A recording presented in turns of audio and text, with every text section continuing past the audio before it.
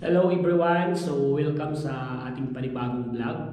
So today's video guys, uh, magpapaaraw lang ako sa labas kasi umaga pa naman. Uh, at least masilayan tayo ng araw kasi sa ating work pumapasok tayo early morning then lumalabas tayo gabi. So this is the time kasi di off natin magpaaraw tayo. Tara, samahan niyo ako magpaaraw mga kapatid para naman makita niyo rin kung ano yung itsura sa labas ng aming bahay or dito sa aming accommodation. Yala guys, samahan nyo ako. So guys, dito lang ako papalabas sa aming accommodation.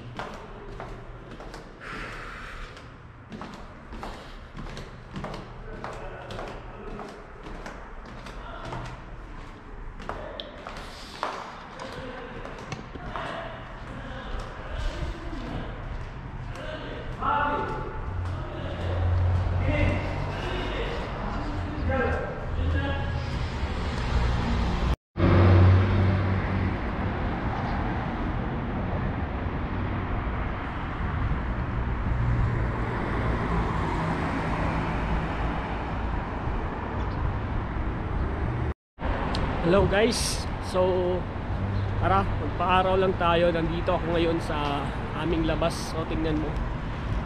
Ito siya. Diba? The best siya for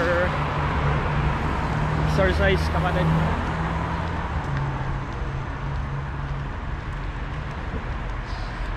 May mga sasakyan sa likod. Tapos mapapansin nyo, wala ditong mga naglalakad-lakad. Hindi kagaya sa atin, paglabas mo ng bahay. Uh, may mga tao na dito wala. Hindi mahilig yung mga tao dito magtambay sa labas. Mapa-winter man or uh,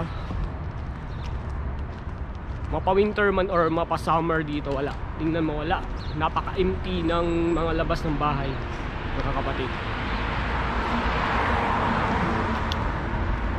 So samahan nyo ako. Dito lang ako sa labas ng aming accommodation.